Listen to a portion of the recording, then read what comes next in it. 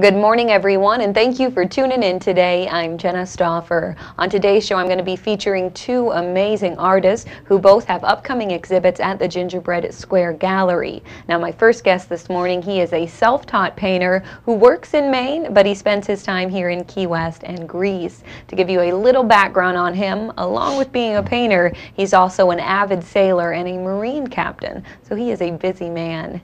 Now, he takes to his paintings the richness of all these experiences, and he says it's just an expression of the world that he loves. Christos, thank you for being with well, me this thank morning. you for having me this morning. And welcome back to Key West.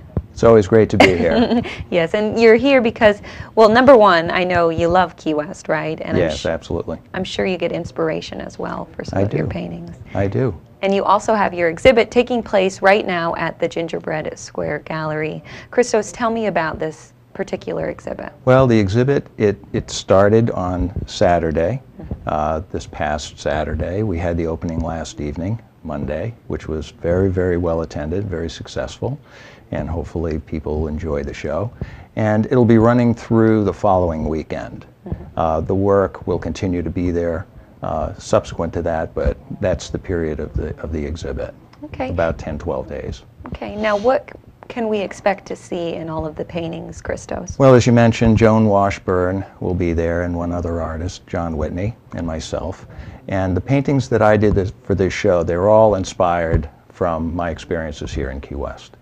Um, some of the paintings uh, that you'll see are done on site here in Key West. Mostly the outdoor paintings involve architecture, the old conch houses. There's a painting of the theater because I love the facade of that.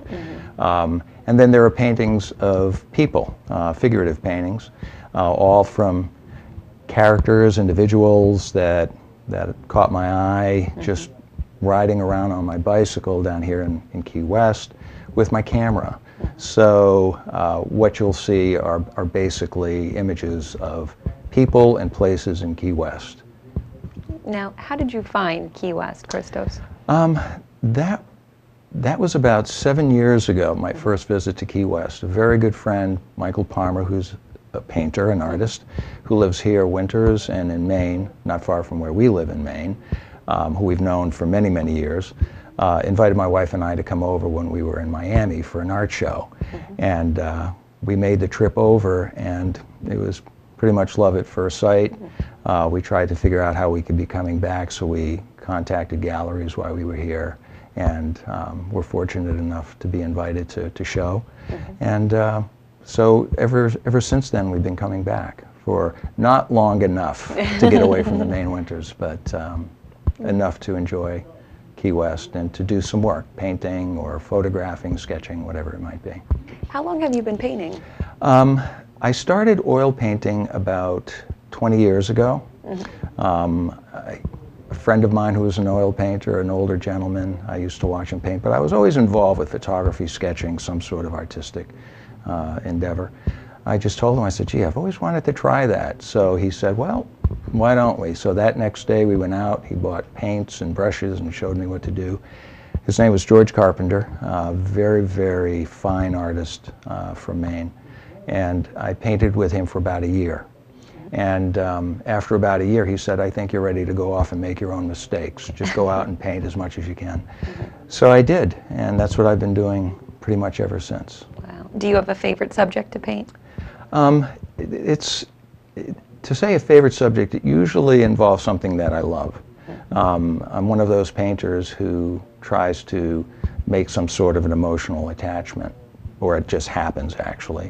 And once it happens, then I'm drawn to whatever it is. It could be uh, the, the sea, it could be the sky, it could be images of Key West, uh, the places in Greece that I love. Um, so it's usually uh, a place or something that I've attached to emotionally, and then my painting is really just an expression of how I feel about that place.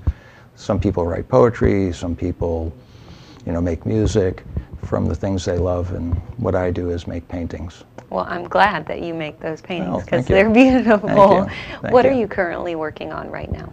Um, more figurative work. That's that's what is primarily of interest to me. Um, I started painting outdoor landscapes, and a lot of them were just nature, architecture. Um, but I'm fascinated with people and kind of the, the movement and energy that they evoke, or maybe if they're just sitting, the kind of the, uh, the feeling that one gets from perhaps seeing someone, another human being. So right now my, my interest is primarily doing paintings of people, figurative paintings. Great. Well, I can't wait to see the finished product. Well, I'm looking forward for you to have that opportunity. Well, hopefully, right now, everybody can make their way to the Gingerbread Square Gallery and check out your current exhibitions. They will be on display for about another week or, or so. And then you do have some paintings in the gallery Yes. full time. Yeah, there are the, there are new paintings that I have for this show, and then there are some paintings that they've had, you know, within the last few months or year, and they'll all continue to be there even after even after the th- this particular exhibit. Great. Well, thank you for being on this Well, morning. thank you. It was a great pleasure. I'm going to take a quick break right now, but I'll be back right back with another artist who will be on display at the Gingerbread Square Gallery. Stay with me.